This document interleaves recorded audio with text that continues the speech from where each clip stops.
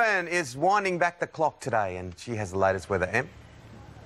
Tim and Layla, that is exactly right. We have been transported back into the Middle Ages for the Medieval Fair, which is part of the Blacktown City Festival happening over the course of the weekend. One of the groups here is the Danelaw Medieval Fighting Society, and they are part of a swordplay movement, which I'm told is actually growing rapidly. One of their youngest members is little Jake. He is nine years old and he has been practicing his swordplay for a while. You want to show us a little bit of your, uh, a bit of a demo here this morning, Jay.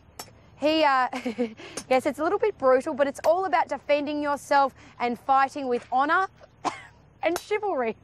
We're going to check out a real sword fight straight after we take a look at your cap cities and see what's happening with your weather this morning. If you're in Cairns, you've got cloudy skies and a couple of showers, top of 28 degrees, 24 and mostly sunny in Brisbane. If you're on the Gold Coast today, mostly fine as well, maybe a couple of showers later in the day, a top of 23, 21 and overcast in Sydney. If you are in Canberra, early frost and then a partly cloudy day, a top of 16. It is going to be wet in Melbourne, the same for Hobart and Adelaide. If you're in Perth, sunny and a top of 25 degrees.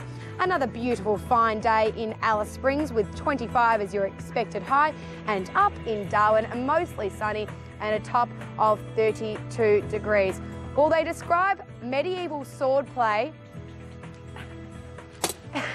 as a martial art without the combat but the threat of death. And uh, Sir Adam and Sir Jay are demonstrating this for us this morning.